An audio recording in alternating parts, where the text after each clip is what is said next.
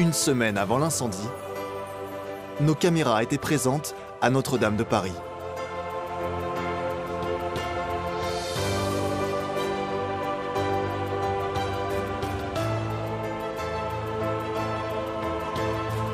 Ce jour-là, comme chaque jour, près de 40 000 visiteurs étaient venus admirer les trésors de la cathédrale, comptant parmi les plus grands chefs-d'œuvre de la chrétienté.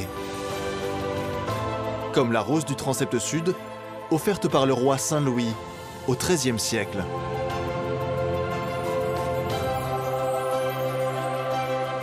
Mais aussi cette chapelle du XIIe siècle, consacrée à Saint-Germain, qui venait à peine d'être restaurée.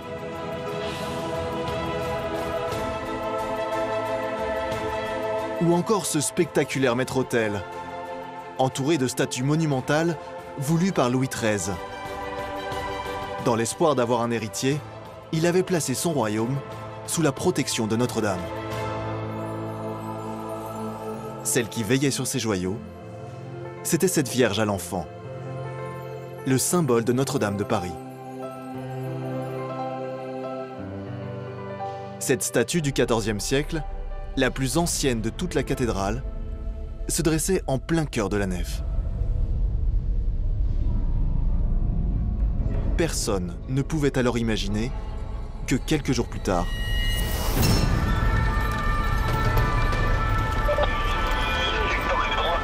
ce lundi-là, à 19h, un feu d'une incroyable violence vient de se déclarer et dévore la toiture.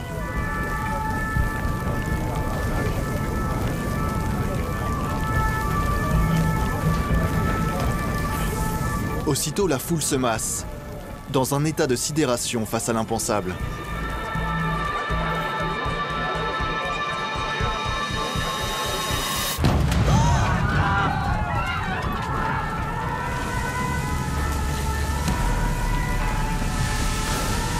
En 45 minutes, le toit a déjà presque complètement disparu.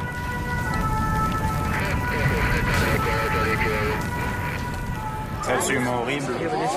On voit ça brûler depuis une heure et on sent bien que tout le monde est impuissant fa- face à ça. Une espèce de communion quelque part symbolique avec ce qui est en train de disparaître. Et euh, voilà, c'est c'est Paris, c'est c'est nous, c'est euh, c'est tout le symbole de Paris et, et dans une impuissance totale. Vers 20h, la flèche, qui s'élève à près de 100 mètres du sol,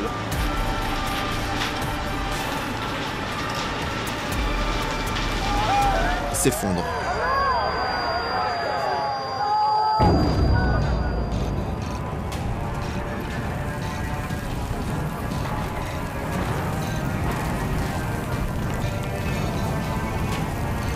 Ces images resteront à jamais gravées dans nos mémoires.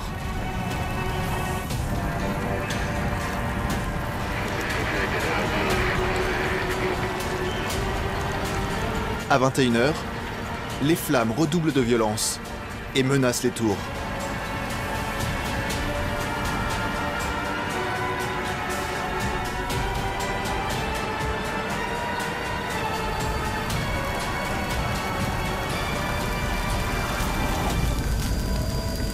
Mais grâce au courage des 400 pompiers, elles sont finalement sauvées vers 2h du matin.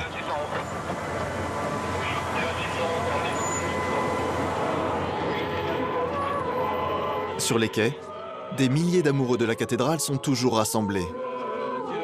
Et des chants se mettent à résonner dans la nuit.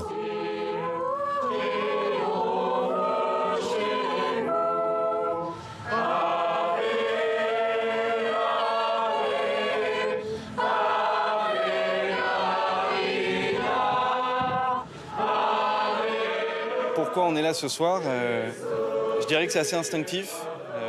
Euh, on a tous ressenti le besoin de venir ici et, et de chanter notre confiance. impossible de dormir et impossible de rester euh, indifférent à Notre-Dame en flammes. À 5 heures du matin, L'incendie est enfin maîtrisé. Mais Notre-Dame est profondément meurtrie.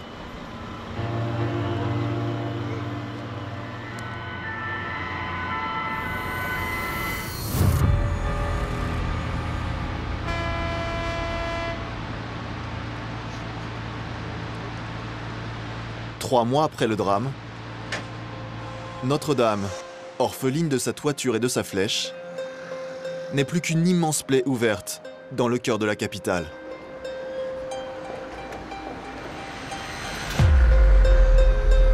Ses blessures sont innombrables.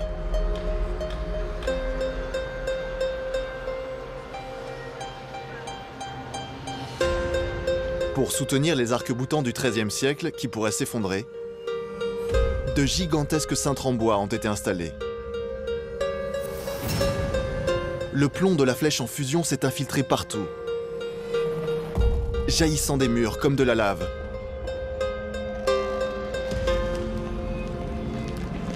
L'accès à l'intérieur de la cathédrale est strictement interdit. Mais ce matin-là, à titre exceptionnel, Philippe Villeneuve, l'architecte en chef des monuments historiques en charge de Notre-Dame, nous autorise à y pénétrer avec lui. Thank you.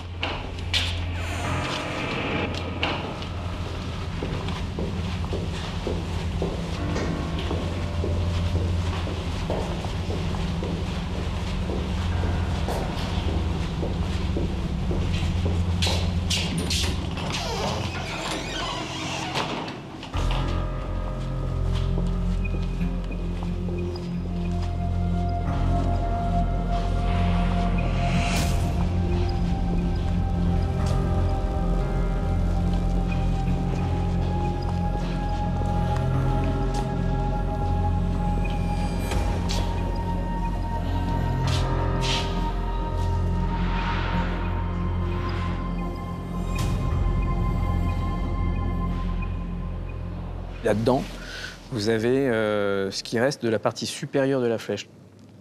Elle est tombée là-haut, elle a fracturé la voûte, c'est elle qui a fait ce trou-là. D'ailleurs, vous avez là-haut la partie métallique qui pend, c'est la partie supérieure de la flèche.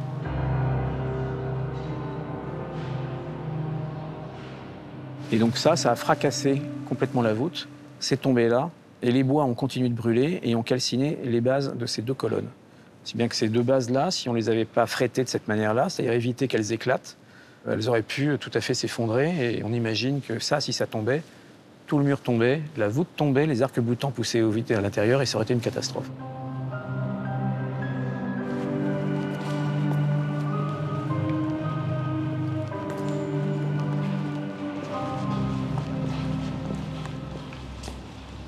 Qu'est-ce que vous avez ressenti quand vous êtes entré pour la première fois ici après l'incendie?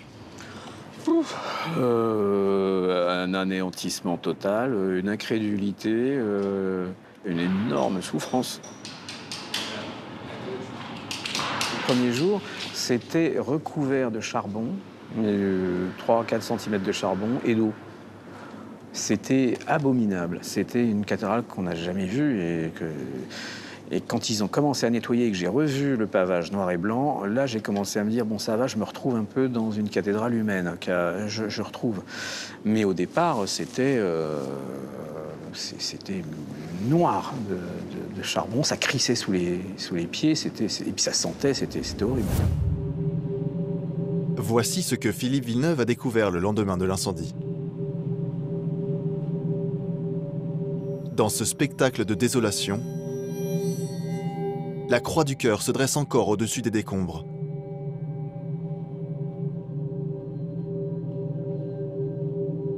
Devant elle, un amas de pierres et de poutres calcinées gît sur le sol.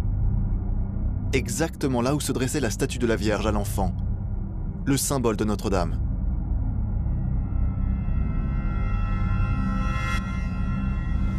Mais contre toute attente, elle aussi a survécu à la catastrophe les poutres se sont écrasées à seulement quelques centimètres, sans la toucher.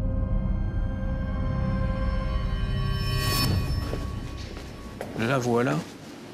Depuis, Philippe Villeneuve l'a mise à l'abri dans cette chapelle. Voilà la, la Vierge du Pilier. qu'on a pu enlever de, de la croisée. Vous l'avez renettoyée? Non. Elle était comme ça, après l'incendie. Il y avait juste, vous voyez, des, des petits bouts de charbon qui traînent un peu au-dessus.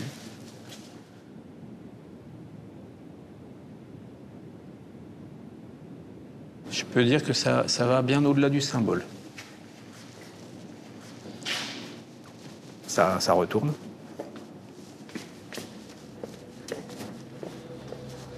C'est des choses euh, qui tiennent du miracle.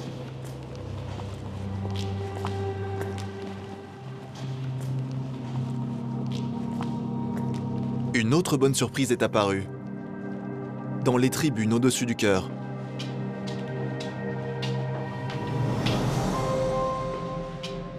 Lors de l'incendie, tout le monde pensait que ces roses du XIIIe siècle étaient irrémédiablement perdues. Mais en fait, elles n'ont pas souffert de la fournaise.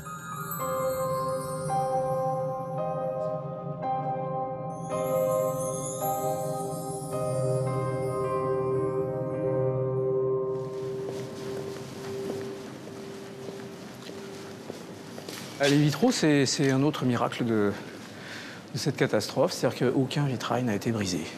Aucun. Donc, euh, et c'est tant mieux parce que là, on n'a pas pu les enlever. En plus, c'est inaccessible parce qu'on risque de se prendre la voûte sur la tête. Donc, pas possible. Et puis, c'est extrêmement délicat. Donc, on s'est dit, elles sont protégées. C'est pas la peine d'aller tenter le diable. On va les laisser comme ça.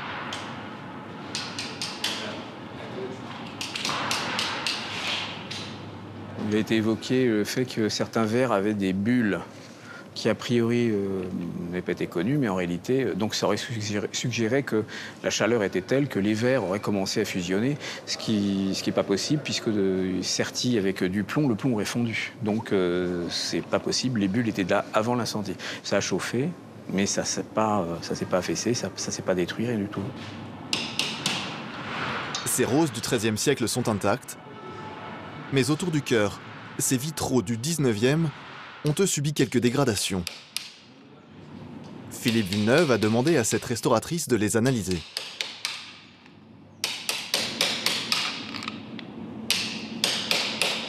Là, c'est vraiment sauvetage. Pour le moment, on a sorti les, le vitrail et on le conserve euh, à part euh, en attendant qu'il soit restauré plus tard.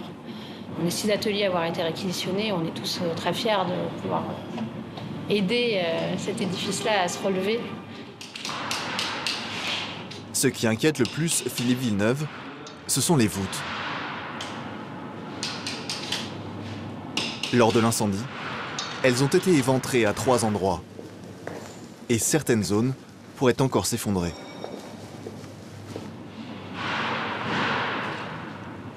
Alors là, par exemple, voyez là-haut, il y a un élément de claveau, une grosse pierre qui à deux doigts de tomber, on ne sait pas. C'est comme ça depuis euh, trois mois. Euh, donc ça explique, entre autres, les raisons pour lesquelles je ne veux absolument personne là ou dans la nef, etc.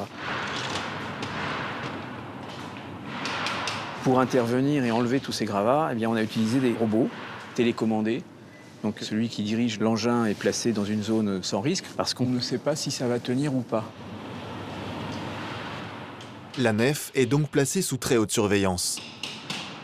Dès le lendemain de l'incendie, Philippe Villeneuve a fait installer des dizaines de capteurs.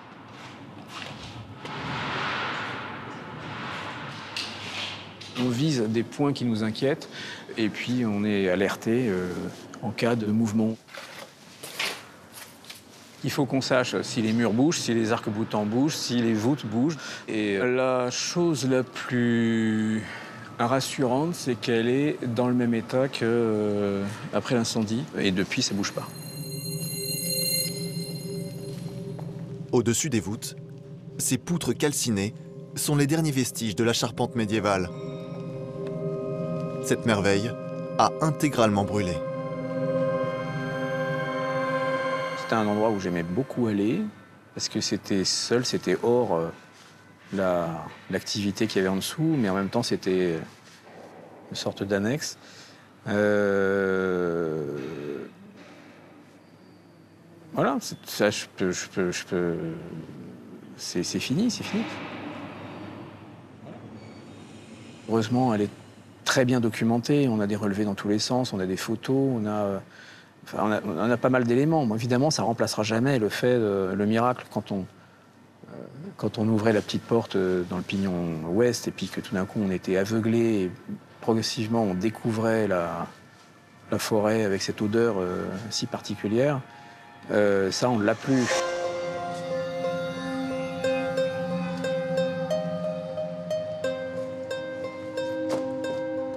18 mois avant l'incendie, nous avions partagé ce moment avec l'architecte en chef.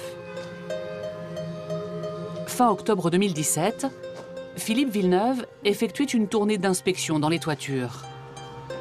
Ce jour-là, il nous avait proposé de le suivre jusque dans la flèche de Notre-Dame.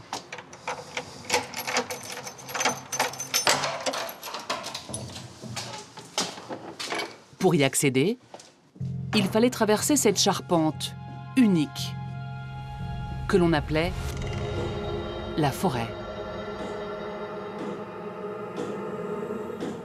La forêt était l'une des plus anciennes charpentes de France. Certaines de ces pièces de chêne dataient du XIIIe siècle.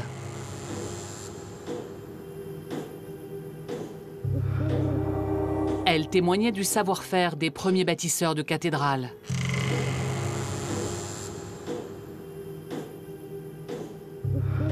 Ici, loin des bruits de la ville, seul le mécanisme de cette horloge de 1867 venait rompre le silence.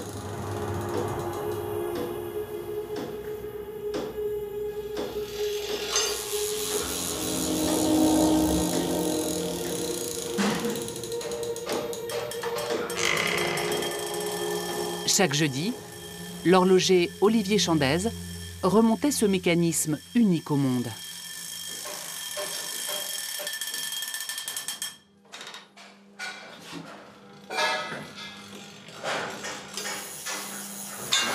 Remontée à la main, tout est mécanique.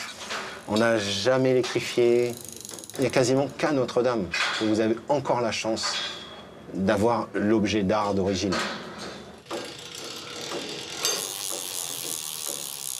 Moi, sincèrement, je suis fasciné. Il y a une chose qui m'émeut, c'est le souci du détail.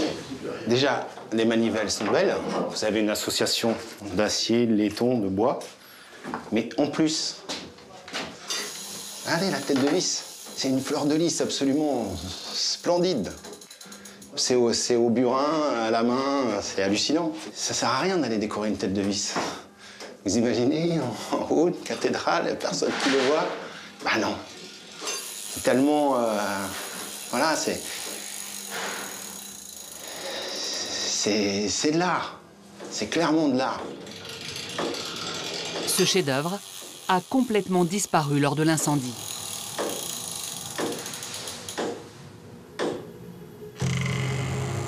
Au centre de la charpente trônait la colonne vertébrale de Notre-Dame. C'est l'axe mundi, c'est-à-dire que c'est l'axe vertical de la cathédrale. La cathédrale est orientée, la façade à l'ouest, façade principale à l'ouest, le chœur au levant, et puis vous avez le transept nord et le transept sud. À la croisée, vous avez cette flèche. Et donc l'axe, c'est ce- cette pièce de bois, qui est le poinçon, en fait, qui part de là où je suis et qui va aller jusqu'au sommet de la cathédrale, jusqu'au sommet euh, sous le coq. Et puis là, vous avez la plaque, aussi qui est importante, où vous avez les compagnons qui ont euh, mis une plaque euh, sur cet axe Mundi, où il y a les noms des charpentiers, il y a l'architecte Viollet-le-Duc, et puis vous avez les, les différents symboles, avec le compas, l'équerre et la bisaiguë. Puis c'est la signature des, maîtres charpentiers qui ont construit ce chef-d'œuvre. On va monter.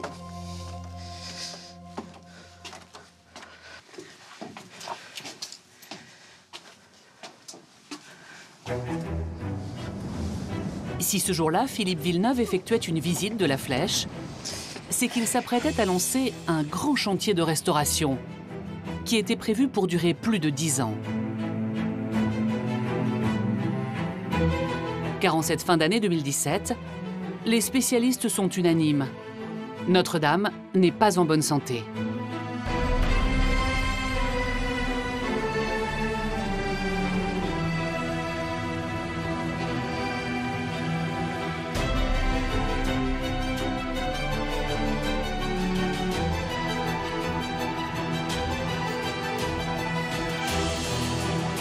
Certaines structures en pierre sont très endommagées. Mais il faut surtout restaurer l'ensemble de la flèche.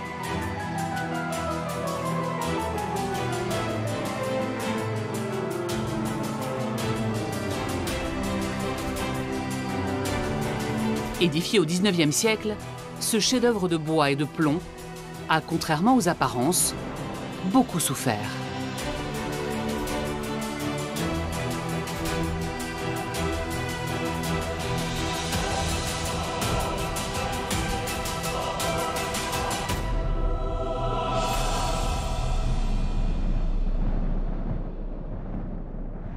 On voit ça, on se dit, bon, elle est en bon état. Mais quand on tape là-dessus, déjà, on voit des éléments qui sont un petit peu blancs. On se dit, tiens, qu'est-ce que c'est?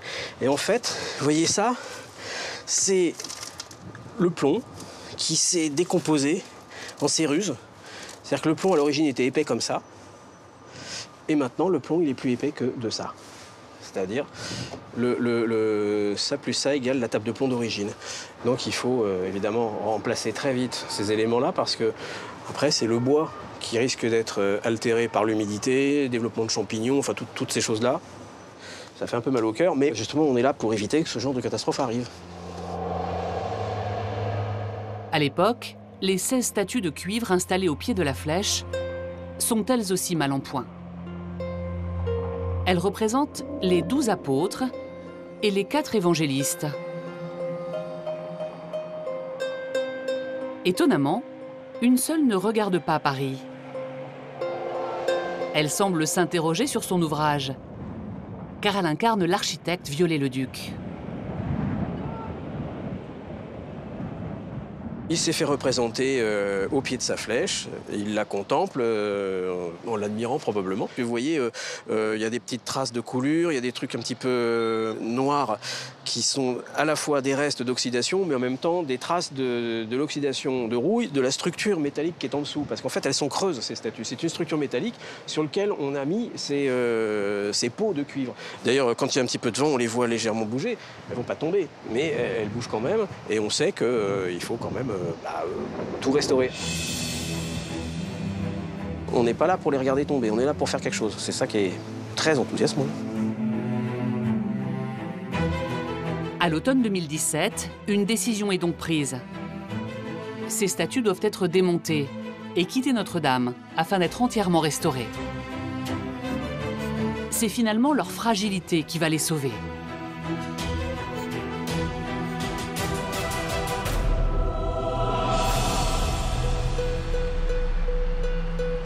Quinze jours avant l'incendie, un immense échafaudage recouvre une partie de la toiture et permet d'atteindre le pied de la flèche.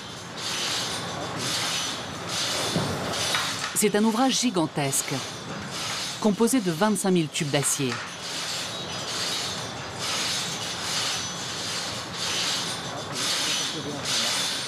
Il permet d'accéder aux 16 statues de cuivre. Ce matin d'avril, les premières d'entre elles commencent à être détachées de la flèche.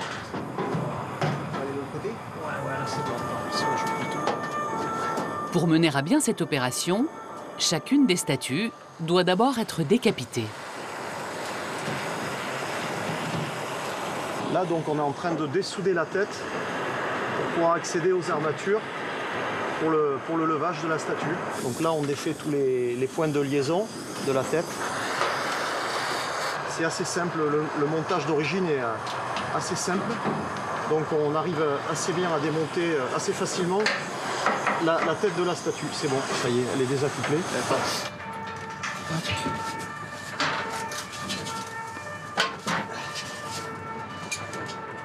à l'intérieur. Donc on a une structure qui sert de squelette à l'intérieur du cuivre repoussé qui lui donne une armature et une solidité. Vous allez vous accrocher là-dessus, c'est ça Voilà, on s'accroche sur cette partie-là parce qu'elle est, euh, elle est rigide. Si on se prend sur les- la partie extérieure, c'est une peau très très fine en cuivre et on l'écraserait si on s'accrochait sur la partie extérieure.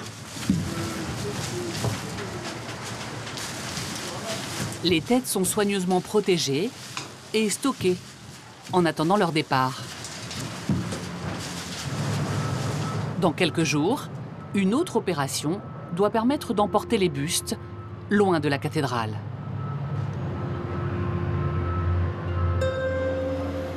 Quatre jours avant le sinistre.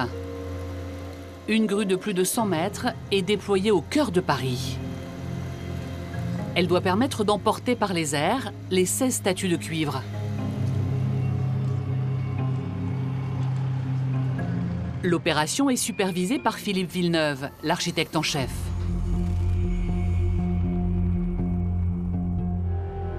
Nous sommes placés à un endroit merveilleux, puisque vous avez l'un des quatre euh, évangélistes qui est arrimé, qui est en train de sortir de son axe, et que la grue va emmener jusque dans le camion.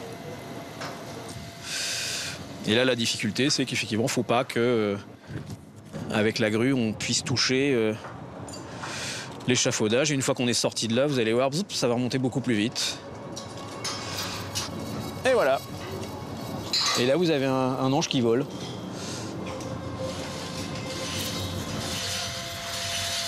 Les unes après les autres, les statues monumentales représentant les apôtres sont détachées de Notre-Dame.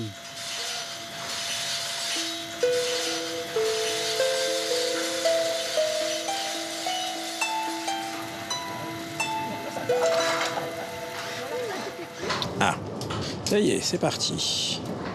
Puis vient le tour de celle de Saint Thomas, à laquelle l'architecte de la flèche, Viollet-le-Duc, avait donné ses traits.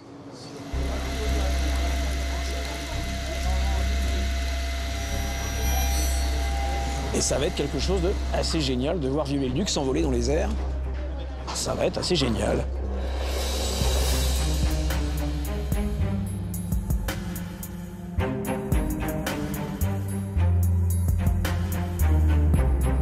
La première fois depuis 160 ans, cette statue quitte sa flèche. À cet instant, nul ne peut se douter qu'elle ne la retrouvera jamais.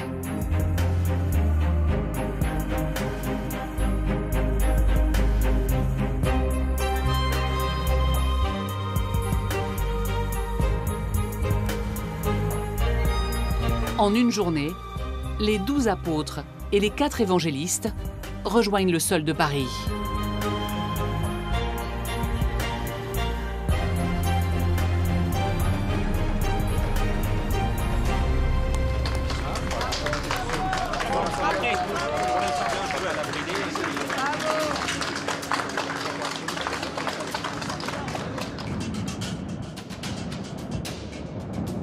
Ce jeudi 11 avril au soir, la flèche se retrouve seule, sans ses statues. Ce sont les dernières images de la toiture de Notre-Dame avant la catastrophe.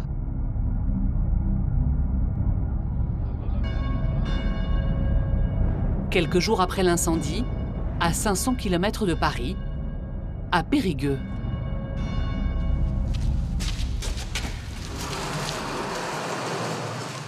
ce sont ces hommes qui ont démonté les statues. Aujourd'hui, elles sont toutes là, et désormais sous leur responsabilité. Ce matin, ils ont encore du mal à réaliser l'ampleur du désastre.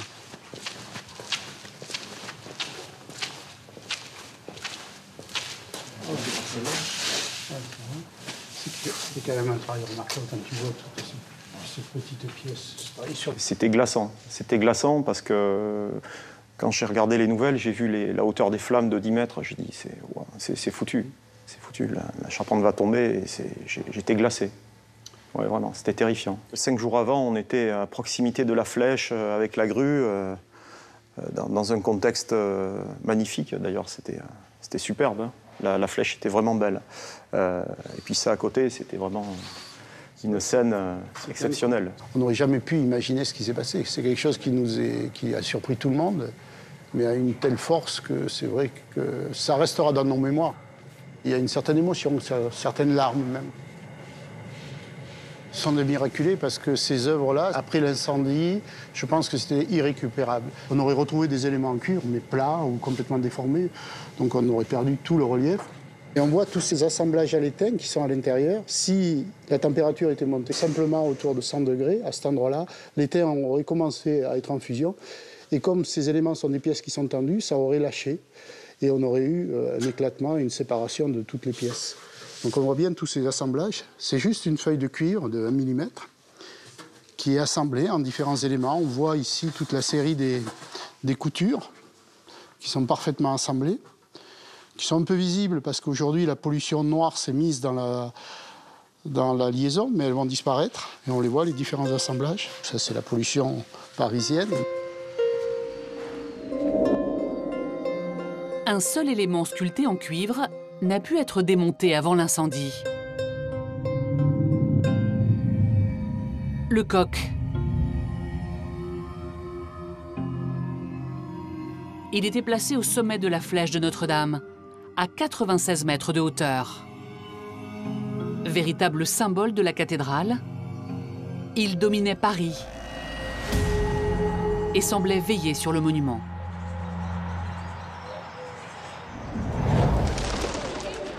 En 2012, nous avons pu assister à sa repose. Didier et Anthony Dupuis sont père et fils. Spécialistes des travaux extrêmes. Ce matin-là, ils se préparent à escalader la flèche du monument. C'est un privilège, c'était une fierté, le fait qu'on repasse derrière des gens qui ont fait un édifice fabuleux. Euh, C'est toujours une fierté, un honneur, un, un plaisir, un très grand plaisir.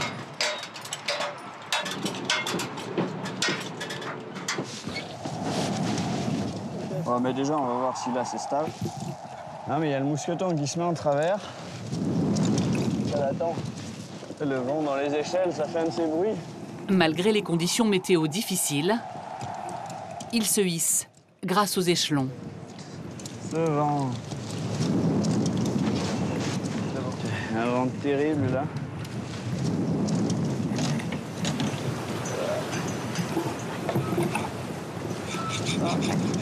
Ah, putain.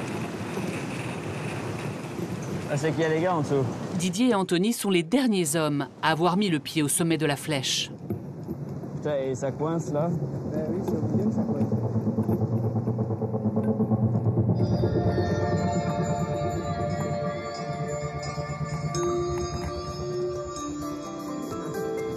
superbe. On voit tout Paris, il n'y a pas de brouillard, il y a un temps très clair, il y a un jeu d'ombre avec les nuages. C'est sublime. Ça fait beaucoup de vent.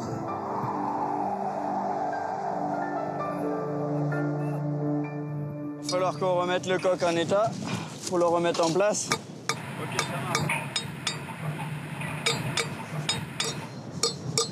Ben, J'ai les yeux pleins tout larmoyants. La destruction totale de la flèche ne laissait que peu d'espoir de retrouver cette sculpture.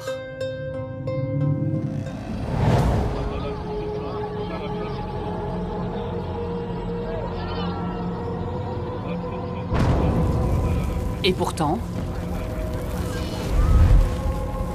voici une photo prise lors de l'effondrement. À droite de l'image, on perçoit nettement le coq. Lors de sa chute, il est éjecté à plus de 40 mètres et échappe au brasier.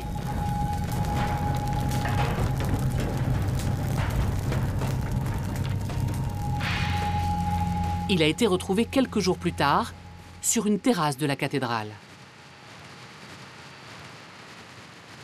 C'est le dernier le coq, qui a survécu par miracle à cette chute de plus de 50 mètres de haut. C'est une pièce d'orfèvrerie, le fameux coq qui a malheureusement subi un certain préjudice.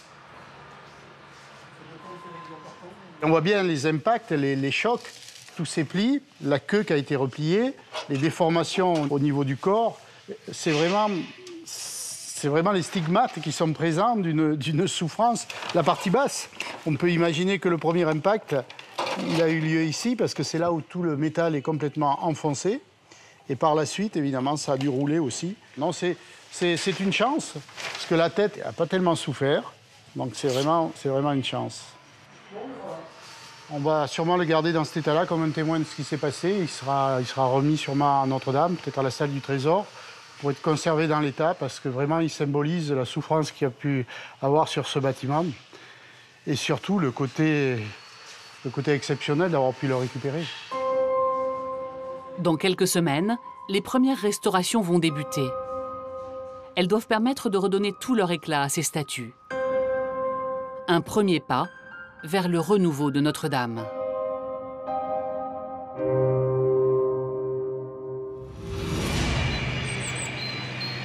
À Paris, cinq mois après l'incendie, on se tourne vers l'avenir. Il ne s'agit plus seulement de porter les premiers secours à cette grande blessée.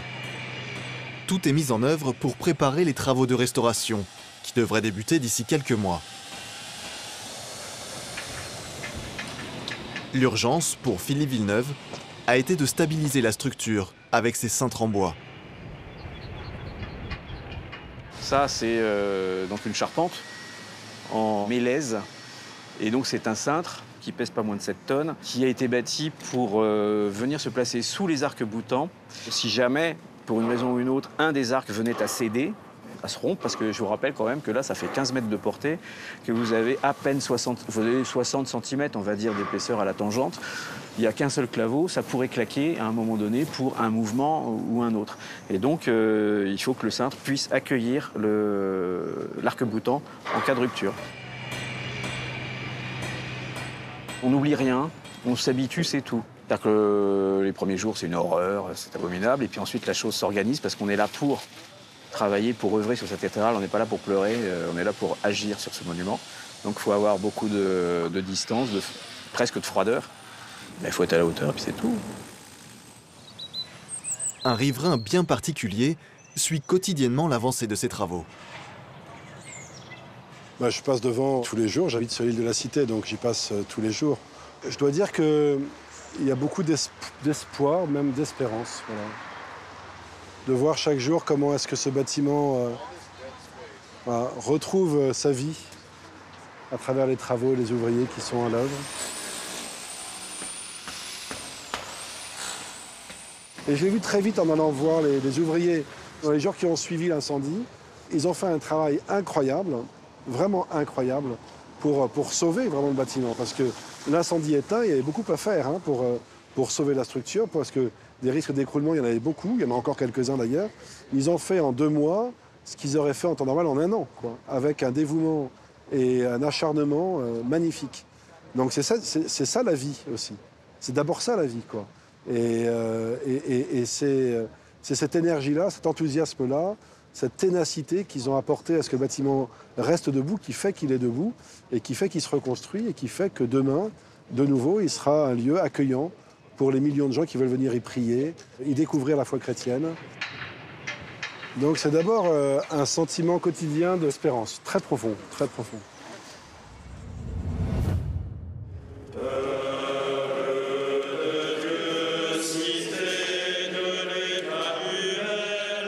Deux mois jour pour jour après l'incendie, le 15 juin, une messe exceptionnelle est célébrée dans le cœur de Notre-Dame pour envoyer un message d'espoir au monde entier et en particulier à la communauté chrétienne.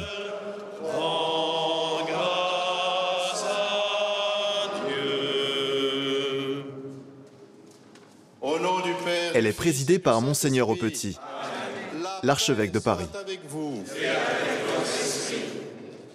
Il y a un an, chers frères et sœurs, nous étions là dans cette cathédrale pour fêter. Une trentaine de personnes est alors présente. C'est aussi un message d'espérance et de remerciement envers tous ceux qui se sont émus de ce qui est arrivé à cette cathédrale. Beaucoup de témoignages, il serait trop long pour que je les énumère ici du monde entier, mais c'est à eux que j'adresse aussi cette Eucharistie qui va être célébrée pour montrer que, voilà, la cathédrale est toujours vivante puisqu'on y célèbre encore l'Eucharistie. Guide mon âme, sois mon soutien, remplis ma vie, toi mon seul bien.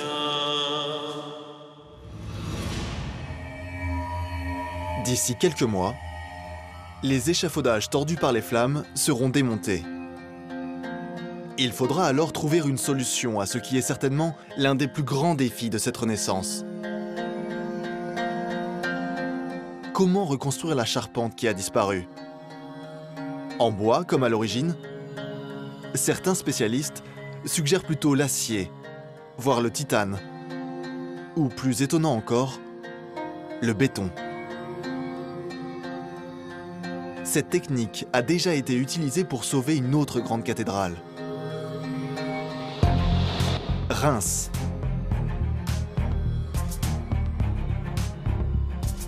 Car celle qui vit le sacre de 31 rois a elle aussi subi les assauts des flammes. Le 19 septembre 1914, les bombardements allemands mettent le feu à la charpente.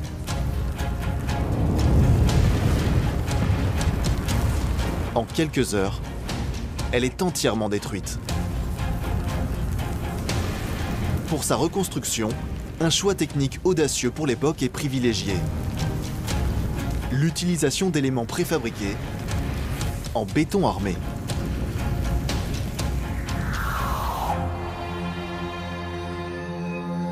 Cette charpente est aujourd'hui l'un des lieux les plus insolites de la cathédrale de Reims.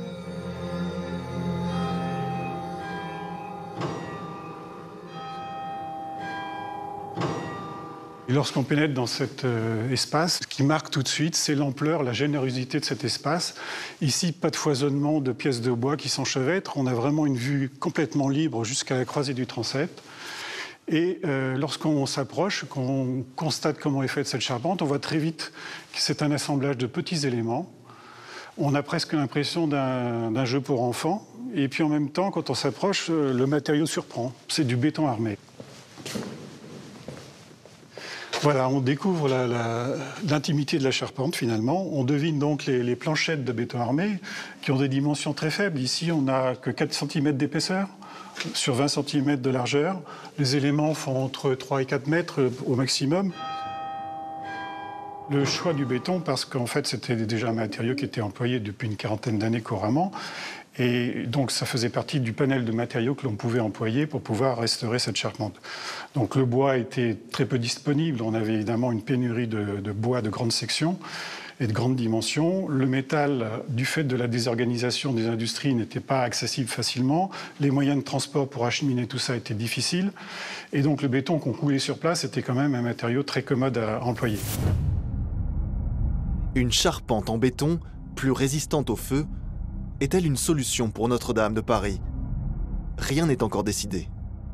Est-ce que ce sera la copie de l'ancienne? Est-ce que c'en sera une avec des formes différentes? Euh, Ça, on ne sait pas encore. Ça, ça va être vraiment des gros débats qu'on aura même entre nous, les, architectes.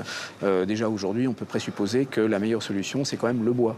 Pourquoi? Parce que structurellement, ça fait 850 ans que cette cathédrale supporte une charpente en bois avec une force une charge et que cette charge, elle est indispensable à la structure de la cathédrale.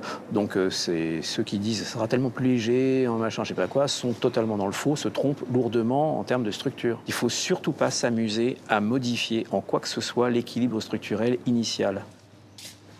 Mais je vais peut-être revenir sur euh, ce que je viens de vous dire en découvrant finalement, peut-être que bon, pourra. C'est l'étude de diagnostic qui va être menée là bientôt, euh, qui va nous ouvrir euh, les différentes possibilités. Et c'est pas moi qui vais décider, ça sera encore un collège de scientifiques, etc. Et en dernier ressort, l'État propriétaire. En revanche, ce qui est déjà certain, c'est que les voûtes seront reconstruites à l'identique, avec des pierres présentant les mêmes caractéristiques que celles utilisées par les bâtisseurs du XIIIe siècle. Mais avant cela, Philippe Villeneuve prévoit un autre grand chantier.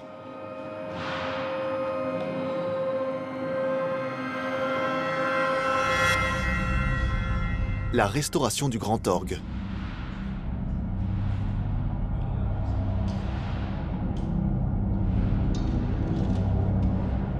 Le grand orgue, euh, devant l'enthousiasme général au début, qui disait chouette, il n'a pas été touché, c'est merveilleux. Effectivement, vous arriviez sur la tribune, pour ceux qui la connaissaient, vous étiez exactement dans le même contexte. Vous aviez, vous leviez le, les yeux, vous aviez les chamades, vous aviez le buffet, vous aviez tout était là, la console était là, bon très bien. Mais euh, ensuite, on a eu des surprises à l'intérieur. On s'est rendu compte qu'il y avait du plomb, mais absolument partout. Donc euh, la décision, c'est de déposer l'orgue. Il n'y a pas que les tuyaux, il y a aussi toute la mécanique, il y a aussi tous les sommiers, tous ces trucs-là doivent être dépollués. Donc c'est un chantier très très à part dans le chantier. Ça va être un- une opération extrêmement euh, lourde. Ces photos montrent l'ampleur des dégâts. La poussière de plomb recouvre les claviers de l'orgue. Elle s'est infiltrée dans chacun des 8000 tuyaux de l'instrument.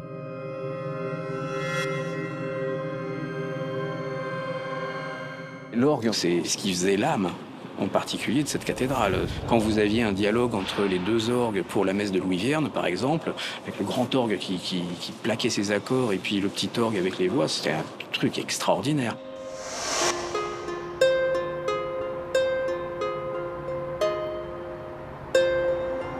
Trois mois avant l'incendie, nous avons eu le privilège d'assister à l'un de ces moments de grâce, où l'orgue faisait chanter les pierres de Notre-Dame.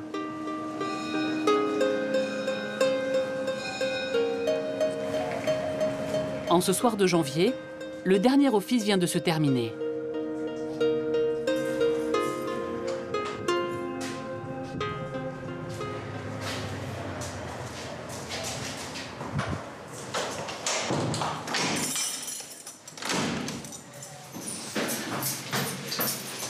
Olivier est l'un des seuls à avoir encore le droit d'y pénétrer à cette heure. Il est organiste à Notre-Dame depuis plus de 30 ans.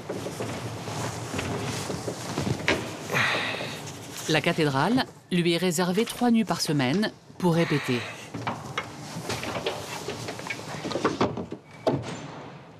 Il y a un moment que j'apprécie particulièrement, c'est quand le, dimanche soir, on reste travailler après les offices. On a eu je sais pas, 15 000 personnes, 20 000 personnes qui sont venues assister aux offices le dimanche. On a joué toute la journée.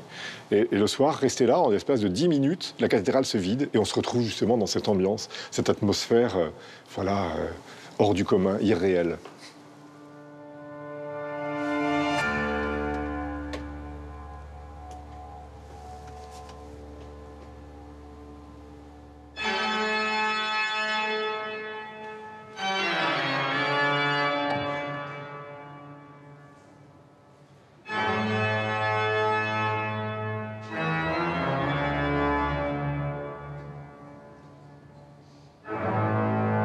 Cette nuit-là, Olivier Latry répète son morceau favori, la puissante toccata et fugue en ré mineur de Jean-Sébastien Bach.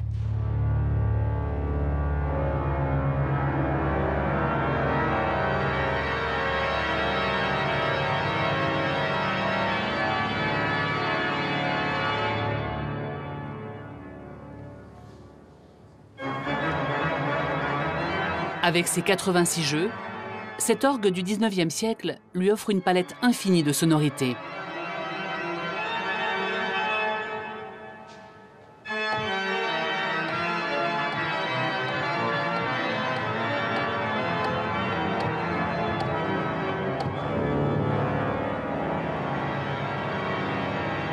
Olivier Latry joue avec les subtilités de l'acoustique pour faire rugir la musique jusqu'au fond de la nef.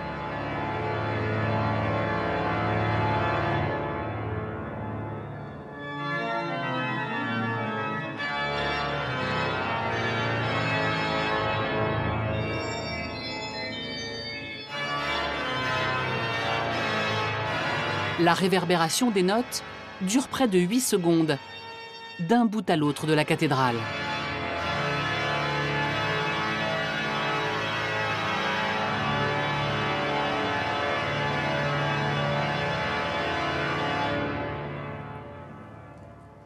Fait, la cathédrale est, pleine de, contours architecturaux. Il y a évidemment des, colonnes, il y a les voûtes, euh, donc il y a les ogives, les croisées d'ogives, etc.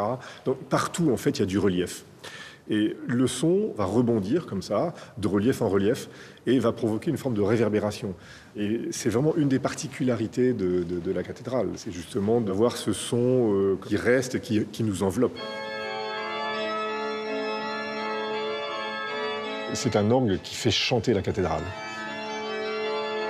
Je bénis Dieu à chaque fois que je viens ici.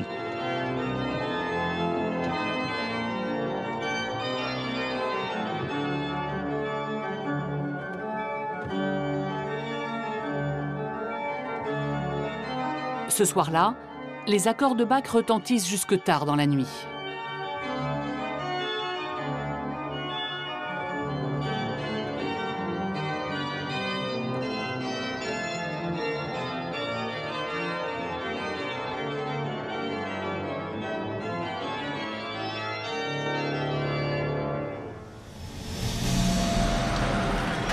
À Périgueux, un autre chapitre de la Renaissance de Notre-Dame est en train de s'écrire. Olivier Baumgartner, le responsable de la restauration des apôtres, travaille depuis quelques jours sur Saint-Barthélemy. Aujourd'hui, avec son équipe, il doit reprendre tout le squelette métallique. On voit l'armature, l'armature interne qui est ici. On voit comment elle était disposée, puisque tous les éléments ici que vous voyez vont être désassemblés. Donc ça va être un puzzle. Il va falloir ensuite les traiter euh, euh, pour la corrosion et ensuite les réassembler et remettre l'armature euh, à l'intérieur. Clémence Salagnac est compagnon du devoir, spécialisée dans le travail du fer. Elle façonne les armatures. C'est euh, de retrouver la même technique, les mêmes euh, matériaux, de faire à l'identique, en fait, euh, neuf, mais à l'identique avec les méthodes de, l'époque. Ça, c'est la nouvelle pièce que j'ai terminé de former. Et donc, qui va, qui va revenir, qui va venir reprendre sa place. Et c'est reparti pour des siècles.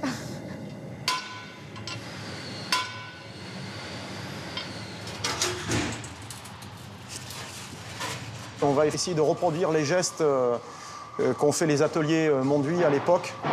Et euh, ça va pas être facile, mais on va, y arriver. Ça va être un boulot très délicat. Dans une autre partie de l'atelier se déroule une phase essentielle du processus de restauration.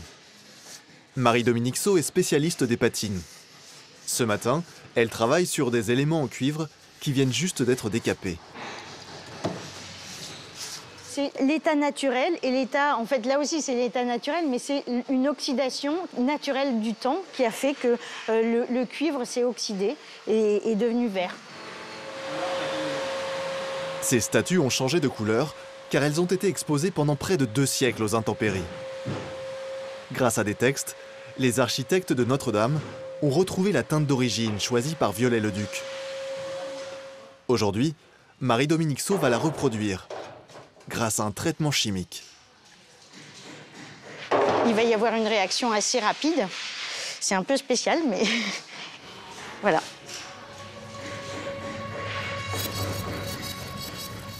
Moi, je trouve ça assez joli de, de voir une modification rapide comme ça.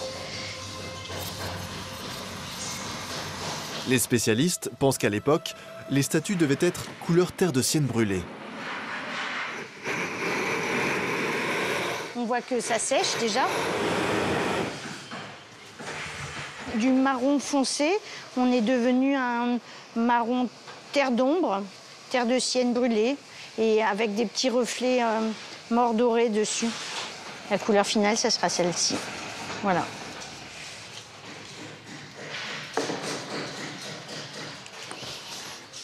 Voilà ce que ça donne. Ça va être beau, hein Ça va être très très beau. Et ça va être encore plus beau dans, dans les plis et les, et les drapés. Ça va être très très beau. Ça va vibrer et il va y avoir des nuances qui vont être très très jolies. C'est le début de la Renaissance de Notre-Dame qui, commence avec la restauration de ses apôtres. Ça va changer la vision de Notre-Dame, mais en même temps, euh, ça va redonner un éclat qui avait disparu dans le temps. Ça me touche plus que ce qu'on peut imaginer. Je suis très émue aussi d'y participer et en même temps, c'est pour moi une lourde responsabilité.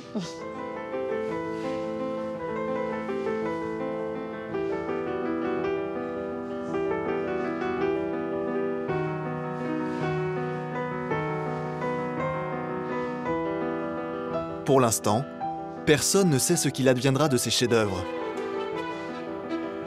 Ni si un jour, ces statues retrouveront leur place au pied de la flèche.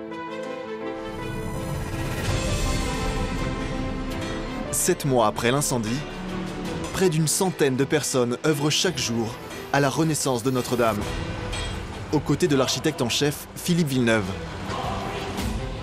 En fait, je me suis aperçu que le 15 avril, j'avais probablement dû rencontrer mon destin. Là, je me suis dit, tout, tout ce qui était avant, ça devait être pour ça. Et donc maintenant, mon seul but, en réalité, euh, c'est elle. On a un soutien euh, mondial. Euh, voir autant d'attention. C'est émouvant de voir que cette cathédrale, finalement, autant de gens l'aimaient. C'est extraordinaire. Il n'y a pas de raison qu'on n'y arrive pas.